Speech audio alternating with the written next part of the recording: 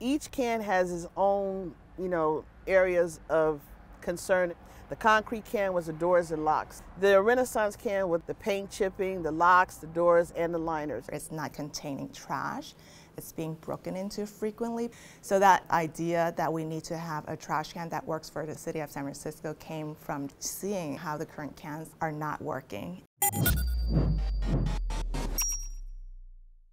So we wanted something that is, um, you know, able to enclose a rolling toter so that uh, when Recology comes to pick up a trash can, they can just hook it into their truck. That way, we reduce injuries and accidents. It also needs to have a recycling exchange and also not have a big enough opening for people to throw large pieces of content into there. We want to be able to remove the garbage from the streets, make sure everything is clear, and at the same time look good while we're doing it. So we wanted to be compatible with the surrounding environment as well as not drawing too much attention to it. We wanted to be subtle enough, but we wanted to look unique. There isn't a lot that is available to meet this requirement.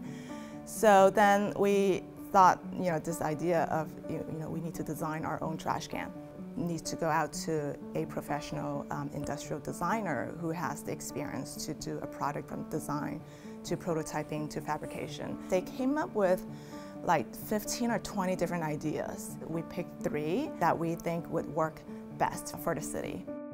So we have a total of three custom designed trash cans and three off-the-shelf cans. We'll be putting 26 in our pilot program strategically across the city. We're trying to uh, come up with one design. If this trash can is able to perform the way it's designed, it's going to save us in the long term because Public Works is also spending a lot of money um, to maintain the current trash cans. So if we're able to come up with a solution that would sort of minimize that long-term maintenance in the next 10, 20, 30 years, it's going to save us in the long run.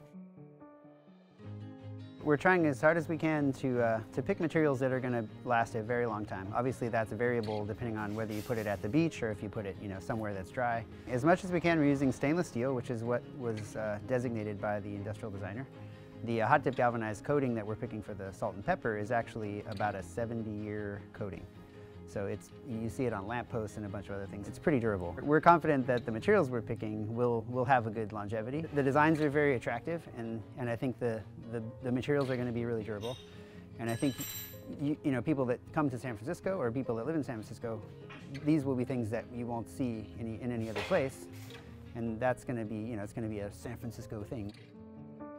I think the, the project itself is not a complicated one, but like going through all of this process to get it, um, to properly do our outreach so that everyone is aware of this project um, and gathering all, you know, the agency approvals, that's the most challenging part of the project. So there's going to be a, an online survey for the public. We're going to include QR code stickers on each of the pilot trash cans so someone can just scan it with their phone and it'll take them to the um, public survey. We'll analyze the data and provide a recommendation to our executive leadership team uh, to make a final selection. I can see people wanting to put these cans in places so that you know, the world will see you can remove garbage in a really beautiful way.